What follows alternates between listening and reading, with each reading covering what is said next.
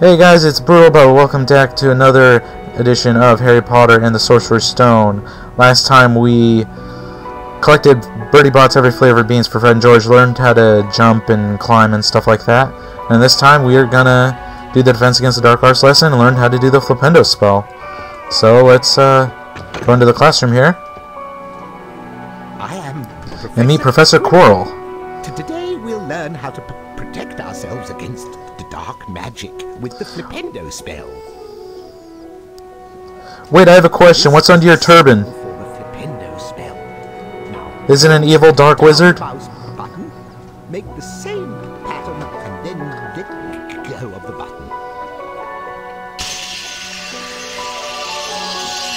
So you're supposed to trace this, and you're given points on accuracy and speed.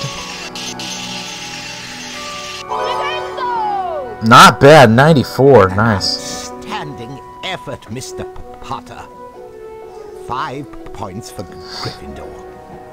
And It doesn't help that I have a small mouse pad, so it's kind of hard to do. Let's see what you can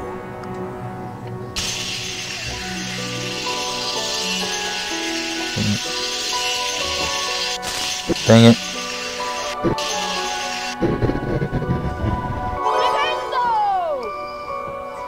An outstanding effort, Mr. Potter. Ten points for Gryffindor. And Seriously, again, what's under your turban? Potter, Let's see what you can do.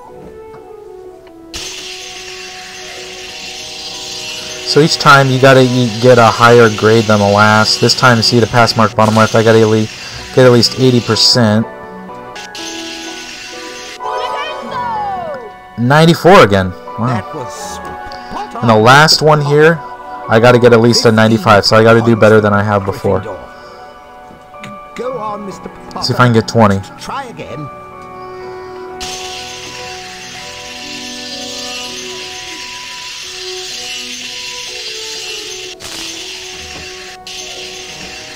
It's gonna be close. Oh, yes! The house with the most Nice. points at the end of the year wins the house 20 points for G Gryffindor.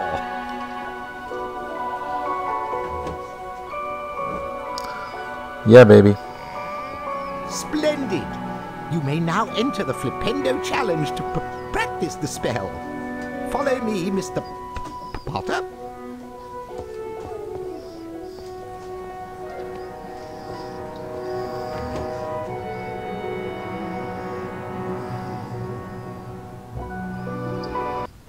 Hold t- down the mouse button to aim the Flipendo spell. Release the b- b- button to c- cast the spell. T- t- Try it on that b- barrel. Yes, sir. So to cast a spell, you just do the left mouse button, hold it down, press it. Boom. It's basically just a pushing spell. The funny thing is, Flipendo is a spell created for the video games. It is not in any of the Harry Potter books. It's just created solely for the video games. And I'm gonna want to collect that challenge guitar, but I can't do it yet. I'm gonna go this way. Cast your Flipendo spell at the switch on the wall to open the door. Flipendo affects all sorts of things, such as this cauldron. Knock it over, Mr. Potter.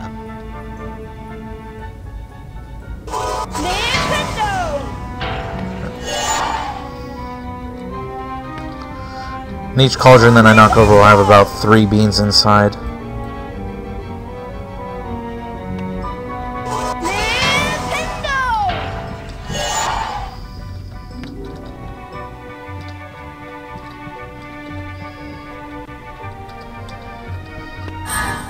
Can I go that way yet? Okay.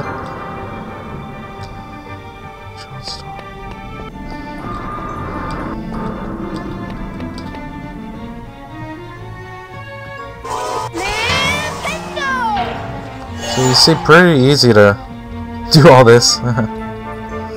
Get this switch here. The switch, when I first played this game, I, I did not know where it was. I could not find it. Go on and collect your challenge stars. I'll meet you further on. I kept going back to Quirrell like, um, is this what I'm supposed to do? Am I supposed to be near you? I don't know.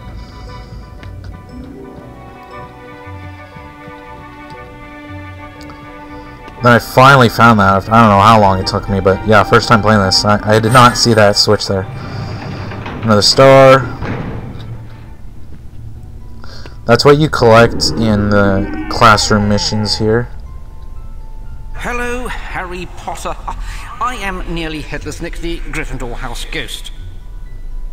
Now, this is a save game book. When you touch it, your game will automatically be saved. The game will restart from this point if you faint. You can also load a saved game from the main menu. Goodbye. Goodbye. Thank you, nearly Headless Nick. Well, there's a couple things we can do in here. You can destroy this pod or this vase here. Get a bean out of it. Uh, these switches will open the door. So, I'm actually going to save here. It just does that automatically. And I'm going to continue next time on Age of Empires. Next time on Harry Potter and the Sorcerer's Stone, I will be doing, continuing the Flipendo challenge, and um, I hate to make this a shorter episode, but you know, what are you gonna do? So I'll see you guys next time.